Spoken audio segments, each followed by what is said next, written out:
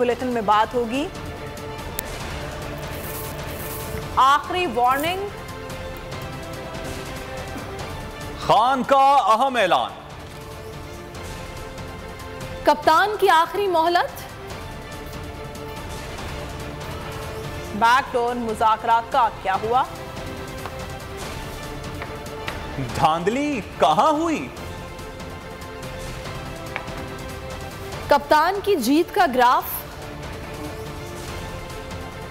नवाज़ शरीफ क्यों बरहम? और शाहीन वार्म अप में डाउन सबसे पहले आपको बताएँ कि चेयरमैन पीटीआई इमरान खान ने हुकूमत को आखिरी मोहलत दे दी है। प्रेस कॉन्फ्रेंस में दो टोक पैगाम दिया कि आपके पास चंद दिन हैं। इलेक्शन का ऐलान करें, वरना लॉन्ग मार्च का ऐलान कर दूँगा। कप्ता, कप्तान का मजीद कहना था, हमारी तैयारी मुकम्मल है। लॉन्ग मार्च रवा माह से आगे नहीं जाएगा। किसी भी दिन मार्च का ऐलान कर दूँगा।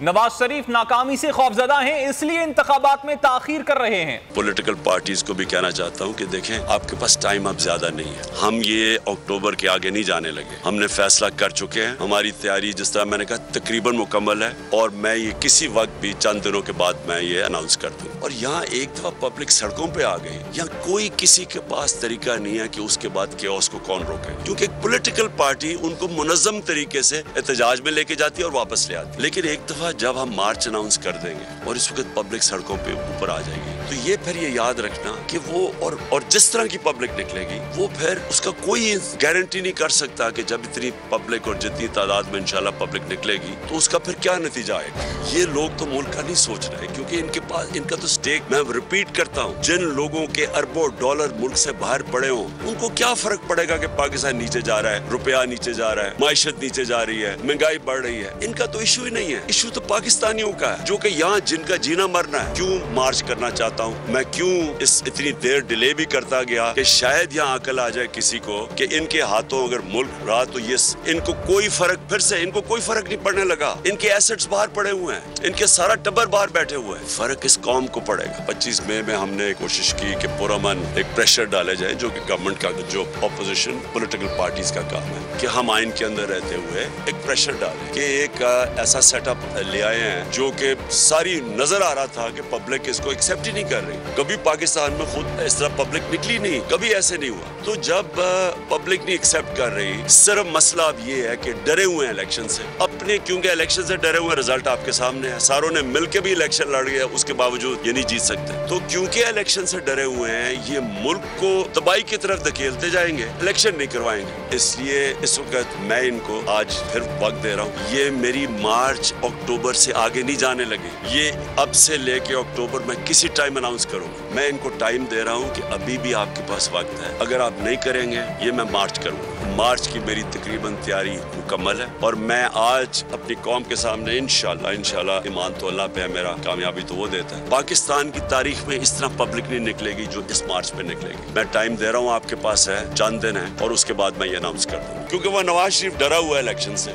वो जब तक नहीं फैसला करेगा इलेक्शन नहीं होगा। अब उसको उसको खौफ आया हुआ है कि अगर ये सारी पार्टीज़ ने मिल के भी और फिर भी नहीं जीत सके तो उनको खौफ आया हुआ है कि इलेक्शन अगर होंगे तो वो हार जाएगा। और वो डरा ये हुआ है कि अगर और वो चाहता ये है कि ये खींचते जाए इसको, बेशक मुल्क का बेड़ा गर्क हो जाए, क्योंकि पैसा, उसको तो फ़र्क ही नहीं पड़ता मुल्क का बेड़ा गर्क हो लेकिन वो ये चाहता है कि अगर शायद ये लंबा चलता जाए तो ये जो वेव है तरीक इंसाफ का ये नीचे आना शुरू हो जाएगा। और मैं ये सुन रहा हूँ पिछले छह महीने से कि जी अब अब गर्मी आएगी तो कम हो जाएगा, अब रोज़े होंगे तो वेव कम हो जाएगा, फिर कुछ ने कहा जी। अब ये तो वेव तो बढ़ता जा रहा है। तो लेकिन वो डरा हुआ है कि वो चाहता है कि थोड़ा टाइम लंबा हो दस महीने, एक साल हो जाए ताकि वेव कम हो, तब इलेक्शन मुजाकरात हो भी रहे हैं और नहीं भी हो रहे।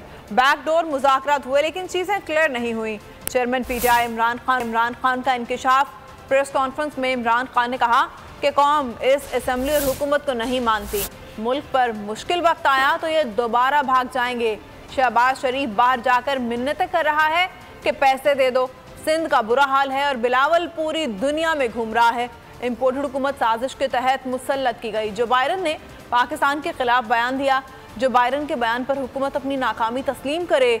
कप्तान के आज़म सवाती पर तशद की मजम्मत कहा। सुप्रीम कोर्ट में तशद के खिलाफ पटिशन दायर करेंगे। तशद के खिलाफ यूएन समेत आलमी इदारों को खत लिखेंगे। सूबाई असम्बली में खसूसी सेशंस कराएँगे। मुजाकर क्या मैं कहूँ कि हो भी रहे हैं, नहीं भी हो रहा है, यानी उनके अंदर अभी तक कोई, जो भी थोड़ी हमारी बैक चैनल्स पे हुआ कोई इस तरह की क्लैरिटी नहीं है अभी तक। मैं साढ़े तीन साल कहता गया कि ये मेरे से एक ही चीज़ मांग रहे हैं एनआरओ और मैं नहीं दूँगा इनको। मैं साढ़े तीन साल कहता गया, पहले दिन असेंबली में इन्होंने जब तकरीर नहीं करने दी, मैंने कहा कि ये मुझे ब्लैकमेल कर रहे हैं एनआरओ के लिए। जिस तेज़ी से ये पाकिस्तान को अब डिफ़ॉल्ट की तरफ़ लेके जा रहे हैं, हमने, सबको पता कि हमने इलेक्शन में नेशनल असेंबली में नहीं बैठ तो पता था कि हम उनकी गलियाँ, सड़कें वगैरह नहीं ठीक कर सकते। उसके बावजूद लोगों ने जिस तरह आके हमें वोट दे साबित क्या हो कि कौम इस वक्त इलेक्शन चाह रही है। कौम इस असेंबली को नहीं मानती। कौम इस इस इम्पोर्टेड गवर्नमेंट को नहीं मानती, जिसके लीडर्स तीस साल से चोरी कर रहे हैं, इनका पैसा मुल्क से बाहर पड़ा हुआ है, जिनके इंटरेस्ट ही पाकिस्तान में नहीं है। जो कि जब मौका मिलता है तो यहाँ से थोड़ा मसला आता है तो बाहर भाग जाते हैं एनआरओ लेके वापस आ जाते हैं। कौम ने इनको रिजेक्ट किया हुआ है। पता नहीं, करोड़ों रुपया हमारा डॉलर में खर्च किया जाके बड़े बड़े होटलों में ठहर के, वहाँ जाके टीवी शो के ऊपर मिलते कर शहबाज शरीफ जी, हमें पैसे दे दो, हमें ज़रूरत है, हम पैसे अपने कर्जे नहीं वापस कर सकते। बिलावल भुट्टो चारों तरफ़ फिर रहा है वो कभी पाकिस्तान, कभी आता नहीं सिंध का बुरा हाल है, वो सारी दुनिया के चक्कर लगा रहे हैं। तो क्या फ़ायदा हुआ इस डिप्लोमेसी का? ये जो इम्पोर्टेड हुकूमत एक साजिश के तहत हमारे ऊपर मुसलत की गई, जो कि बाहर के डिक्टेशन के ऊपर चलती है, जो कि पाकिस्तान की खुददारी, हमारी खुद मुख्तारी उसको कॉम्प्रोमाइज करके बैठी हुई है, जो बाइडन के रिमार्क्स हैं कि जब उसने हमें, यानी जो मुल्क उनको मुखालिफ समझते हैं, चाइना और रशिया, उसके साथ पाकिस्तान को ब्रैकेट कर दिया। किधर गई आपकी डिप्लोमेसी? और फिर जो खतरनाक बात उसने की है, उसने ये कहा कि पाकिस्तान दुनिया की खतरनाक जगह है, और उसके साथ न्यूक्लियर न्यूक्लियर प्रोग्राम की बात कर दी। अब ये एक पुराना पाकिस्तान के खिलाफ प्रोपागेंडा चल रहा है। तो जब वो ये बात करते हैं, हम पाकिस्तान डेंजरस प्लेस है और न्यूक्लियर प्रोग्राम, पहले तो इनकी डिप्लोमेसी का मैं बता दूँ कि ये जो पैर पड़ के ये समझते हैं कि हम जूते पॉलिश करके हम खुश कर देंगे लोगों को। पहले तो ये इसका फेलियर तस्लीम करें। तो ये हमारे नेशनल सिक्योरिटी का इशू जो आज़म स्वाति से किया गया है कि एक आदमी को आप किस कानून के तहत आप उसको पकड़ के या उनसे जो गलती की अदालत में कानून बने हुए हैं, आप जाके उनके ऊपर एक्शन ले। किस कानून के तहत पकड़ के उसको उसको मारा टॉर्चर किया, नंगा किया? पचहत्तर साल के आदमी से। मुल्क का सेनेटर कितना बड़ा जुर्म था कि जो उसे ये किया गया। हम पंजाब और पख्तूनख्वा की असेंबली के स्पेशल सेशन कॉल करेंगे इस इशू के ऊपर। हमारे सेनेटर्स सुप्रीम कोर्ट में पिटिशन फ़ाइल करेंगे। हम इंटरनेशनल ऑर्गेनाइजेशन को अप्रोच करेंगे अब जिसके अंदर number one human right committee जो जनीवा में ऑन टॉर्चर है, इसकी इसकी आई सी जो उनकी है, उसके मुताबिक इसके ऊपर हम पूरा, उनके ऊपर पूरा लिखेंगे कि उससे क्या हुआ। यूनाइटेड नेशंस का जो स्पेशल रेपोटोर है टॉर्चर के ऊपर, उसके पास हम भेज रहे हैं यूरोपियन यूनियन के ह्यूमन राइट्स का जो स्पेशल रिप्रेजेंटेटिव है, उनके पास हम ये भेज रहे हैं सारी डिटेल्स और इंटरनेशनल पार्लियामेंट्री यूनियन भी है, पार्लियामेंटेरियंस की, उनके पास भी हम ये सारा जान दे दूँगा, चोरों को तस्लीम नहीं करूँगा। इमरान खान का दो टोक ऐलान टीवी इंटरव्यू में कहा कि इनकी गुलामी से मौत बेहतर है। मैंने सोचा भी नहीं था कि मुझे गद्दार कहा जाएगा। ये लंदन ये लंदन में बैठकर पाकिस्तान के फैसले कर रहे हैं। रजीम चेंज में मौजूदा हुकूमत मुलविस थी। अमरीकी सदर का बयान, हुकूमत की सिफारती नाकामी है। एटमी प्रोग्राम गया तो हमारा हाल भी यूक्रेन वाला होगा। को कबूल करवाने के लिए। मैं अपनी जान दे दूँगा, मैं कभी इन चोरों को कबूल नहीं ये अगर ये समझते हैं कि डरा, धमका के, जलील करके लोगों को ये मान जाए कि ये जो तीस साल से इस मुल्क को लूट के पैसा बाहर लेके जा रहे हैं। मैं समझता हूँ इनकी गुलामी से बेहतर मौत है, लेकिन मैंने कभी नहीं सोचा कि मुझे एक गद्दार, एक मुल्क दुश्मन की तरह ट्रीट किया जाएगा, जो आज मुझे किया गया।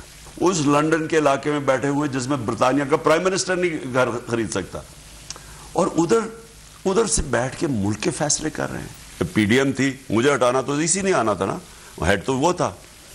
इसका मतलब कि ये सारे साजिश का हिस्सा थे। और जो बाइडेन ने स्टेटमेंट दी है, वो हमारे लिए शर्मनाक स्टेटमेंट दी कि हम डेंजरस मुल्क हैं और हमारा न्यूक्लियर की बात की। अस्सी की दिहाई से पाकिस्तान के न्यूक्लियर प्रोग्राम को हमारे दुश्मन चाहते हैं कि यूक्रेन की तरह वो भी स्क्रैप हो। आखिर में ये हमें एक चीज़ ही रह जाएगी हमारा न्यूक्लियर प्रोग्राम जिसके ऊपर ये बेच देंगे। मुझे तो ये डर लगा हुआ है। और वो अगर चला गया तो वो यूक्रेन वाला हाल होगा हमारा। और चेयरमैन तहरीक इंसाफ इमरान खान ने कराची की नशस्त पर दोबारा इंतबात का मुतालबा कर दिया। प्रेस कॉन्फ्रेंस में कहा कि कराची में जो एक जो एक सीट हारे हैं वहाँ पर पीपल्स पार्टी ने खुलकर धांधली की। कप्तान ने इलेक्शन कमीशन को भी आड़े हाथों लिया। कहा chief election commissioner Noon league का खास आदमी है। हम पहले से चीफ इलेक्शन कमिश्नर पर अदम एतमाद कर चुके हैं क्योंकि वो गैर जानबदार नहीं रहे। उन्होंने कहा कि हमने हुकूमत में शामिल तमाम जमातों से इलेक्शन लड़ा। जिमनी इंतखब मुलतवी करने की बार बार कोशिश की गई। इस बाई इलेक्शन के अंदर हिस्सा लिया और इनके कंबाइंड कैंडिडेट्स को शिकस्त। और हमें ये पता है कि चीफ इलेक्शन कमिश्नर वो ऑडियो लीक्स में ये भी आ गया कि ये नून लीग का खास आदमी है, ये जो सिकंदर सुल्तान है। और हमें कोई इनके ऊपर एतमाद नहीं। मैं ये भी बता दूँ कि सिंध का जो इलेक्शन कमिश्नर है, वो सिंध गवर्नमेंट के पेरोल पे था। इसके ऊपर हमने सुप्रीम जुडिशल काउंसिल में गए हुए और मुझे अफसोस से कहना पड़ता है कि इसका केस सुना नहीं जा रहा। ये हो ही नहीं सकता, ये गैर गैर जानबदार कैसे होगा कि अगर वो सिंध गवर्नमेंट के पेरोल पे कि देखें ये इलेक्शन नहीं। मैं बार बार पहले भी कह रहा था कि ये इलेक्शन ये रेफरेंडम है। ये बार बार सामने आ रहा है। हमारा जो पंजाब का बाई इलेक्शन हुए सत्रह जुलाई को, उसमें भी ये रिजेक्ट हुए। और उसके अलावा भी जो कराची में बाई इलेक्शन और उसके बाद जो मलाकंड में हुआ, सब में रिजेक्ट हुए तो कौम ने रेफरेंडम दे दिया है। कौम ने वाजे बता दिया है। इन लोगों को रिजेक्ट कर चुकी है कौम। और ये जिस तरह सिंध का सिंध का लोकल गवर्नमेंट इलेक्शन हुए, तीस फ़ीसद, पंद्रह फ़ीसद कैंडिडेट खड़े ही नहीं हुए। उनको ड्रा धमका के पुलिस का इस्तेमाल एफ़ आई आर करके कर नहीं किया। और जो एक इलेक्शन मेरा जो हारा है कराची का मैं हमारे पास सारी एविडेंस है। और पीपल्स पार्टी ने खुल के धांधली की वहाँ। जो पीपल्स पार्टी हमेशा सिंध में करती है, इस मुल्क की ज़रूरत सिर्फ़ एक, इस वक्त साफ़ और शफाफ इलेक्शन ये मुल्क जिस तरफ़ ये लेके जा रहे हैं, तेज़ी से नीचे ये सिर्फ़ अब एक तरह ही निकल सकता है। साफ़ और शफाफ इलेक्शन जो पोलिटिकल स्टेबिलिटी लेके आए। जब तक सियासी इस्तकाम नहीं होगी, इस्तकाम नहीं आएगा सियासी तौर पर माशत नहीं ठीक होने लगी। हमने ये भी दिखा दिया कि जब इलेक्शन आया सत्रह जुलाई का, तब भी कि पब्लिक किधर खड़ी है। अब फिर इलेक्शन में बाई इलेक्शन जो भी बीच में, सबको पता पब्लिक किधर खड़ी मुल्क की खातर। अपने आप को बचाने बचाते बचाते मुल्क को तबाह ना करें। और मैं अभी भी कहता हूँ कि ये है टाइम आपके लिए इलेक्शन अनाउंस करने तो ये जो हुआ है, मैं अब डिमांड करता हूँ इलेक्शन कमिश्नर से कि आपने डस्का का इलेक्शन क्योंकि वहाँ बाईस पोलिंग स्टेशन के ऊपर आरओ ने कहा था कि ठीक नहीं हुआ। तो आपने सारा 400 पोलिंग स्टेशन थे री इलेक्शन करवा दिया जो सिंध, कराची में हुआ, इसके ऊपर री इलेक्शन करवाना चाहिए। इमरान खान ने जिमनी इलेक्शन का मार्का एक लाख बारह हज़ार आठ सौ चौबीस वोटों की बर्तरी से जीतकर मुल्क में नई तारीख रकम तारीख रकम कर दी है। तेरह जमाती इतिहाद के हक में पाकिस्तानियों का अदम एतमाद का इजहार खुलकर सामने आ गया। इमरान खान के बयानिए की जीत हो गई। तारीख, फतह का नया ग्राफ बना दिया। जिमनी मार्के में सबसे ज़्यादा वोट लेने वाले कामयाब उम्मीदवार बन गए। 16 अक्टूबर को छह नशिस्तों पर इमरान खान पर चार लाख पिछहत्तर हज़ार तीन सौ सैतीस पाकिस्तानियों का खुलकर इजहार। तेरह जमाती इत्तेहादी मिलकर तीन लाख बासठ हज़ार पाँच सौ तिरपन वोट हासिल कर सके।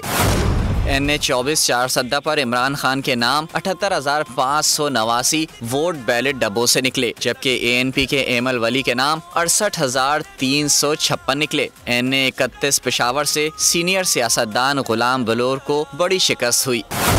खान के मुकाबले में सिर्फ़ बत्तीस हज़ार दो सौ बावन वोट मिले। खान ने सत्तावन हज़ार आठ सौ अठारह वोट के साथ बड़ी फतह समेटी। आबिद शेर इमरान खान के सामने ढेर। कप्तान के हक में निन्यानवे हज़ार छह सौ दो फैसलाबादियों के वोट। लीगी उम्मीदवार सिर्फ़ पिछहत्तर हज़ार एक सौ इकतीस वोट ले सके। ने एक सौ अठारह ननकाना साहब से इमरान खान की नब्बे हज़ार एक सौ आठ वोटों से कामयाबी। नून लीग की शजरा मनसब पर सिर्फ़ अठहत्तर हज़ार चौबीस शहरियों का एतमाद हासिल कर सकी। कराची में कप्तान ने एम क्यू एम की सियासत ठिकाने लगा दी। एन ने दो सौ उनतालीस से पचास हज़ार चौदह वोट लेकर कामयाब। सैयद नैयर रजा को सिर्फ़ अठारह हज़ार एक सौ सोलह वोट मिले। जिमनी इंतखाब में नून लीग की बदतरीन शिकस्त। नवाज़ शरीफ की बरहमी अपनी जगह, बड़के मारने वाले राना सनाउल्ला का का गुरूर भी खाक में मिल गया। शिकस्त का एतराफ़ कर लिया, बोले लोगों को हमसे रिलीफ की तो थी, लेकिन हम उनकी तो पर पूरा नहीं उतर सके। पार्टी कायद नवाज़ शरीफ भी इलेक्शन नतज पर पार्टी रहनुमाओं पर बरहम है। पार्टी क्यादत, लीगी वजरा और अहदेदारों को खरी खरी सुना दी। शिकस्त की ज़िम्मेदारी मरियम नवाज़, हमजा शहबाज और मरकजी क्यादत पर आयद कर दी। जिमनी इंतखाब में शिकस्त। नून लीग की मकबूलियत का भांडा फूट गया। पार्टी क्यादत बौखला गई। पार्टी कायद नवाज़ शरीफ रहनुमाओं से नाराज़। दूसरों को धमकियाँ देने वाले राना सनाउल्ला एतराफ शिकस्त पर मजबूर हो गए। पार्टी कायद नवाज़ शरीफ ने शिकस्त पर पार्टी क्यादत को आड़े हाथों ले लिया। पार्टी क्यादत, लीगी वजरा और अहदेदारों को खरी खरी सुना दी। अगर मूसा गिलानी जीत सकते हैं तो नून लीग भी जीत सकती थी। मकानी क्यादत के शिकवे। क्यादत ने इंतखा इंतखाबी मुहिम में हिस्सा ही नहीं लिया। लीगी रहनुमाओं ने शिकस्त की ज़िम्मेदारी मरियम नवाज़, हमजा शहबाज और मरकजी क्यादत पर डाल दी। कहा, मरियम नवाज़ इंतखाबी मुहिम चलाने के बजाय लंदन चली गई हमजा शहबाज घर से ही ना निकले। राना सनाउल्ला का एतराफ शिकस्त, महँगाई को शिकस्त की वजह करार दे दिया। बोले, लोगों को हमसे रिलीफ की तो थी, लेकिन हम उनकी तो पर पूरा नहीं उतर सके। इन जिमनी इंतबात में पंद्रह ऐसी बीस हज़ार वोट हमें वापडा के बिलों की वजह से कम मिले। लोगों को उम्मीद थी कि हम उस सूरत हाल में जो है वो कमी लाएँगे, महँगाई में कमी लाएँगे। उसके ऊपर जो है वो अमल नहीं कर सके। हम लोगों की जो है वो उम्मीद पे पूरा नहीं उतर सके। लेकिन अगर ये तो मेरा ख्याल है पंद्रह से बीस हज़ार वोट तो आपको जो है वो वापडा के बिलों की वजह से पड़ गया है। जब लोगों के पास गए हैं तो हमें ये एहसास हुआ है। खिसियानी बिल्ली खम्बा नोचे के मुस्ताक ये भी कह गए पीटीआई को जीत में कुछ मदद सूबाई हुकूमत की वजह से भी मिली। अगर आपको ये वीडियो पसंद आई है तो हमारे चैनल को सब्सक्राइब कीजिए और बेल आइकन पर क्लिक कीजिए। सबसे बड़ी कवरेज। सबसे बड़े पैनलिस्ट। जब तक ये रजीम चेंज रिवर्स नहीं होगा लोग इसी पैटर्न पर चलते रहेंगे सबसे ज़्यादा रिपोर्टर्स इलेक्शन कमीशन की जानब से कोई इंतज़ाम इतने अच्छे तरीके से नहीं किए गए।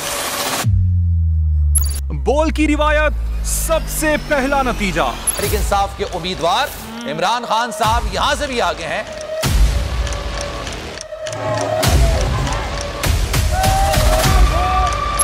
लम्हा बा लम्हा, इलेक्शन की खबर सिर्फ़ बोल पर।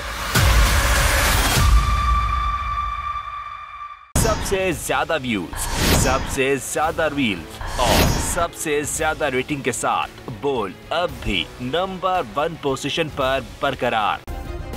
सब्सक्राइब करें और बेल दबाएँ ताकि कोई खबर रह न जाए।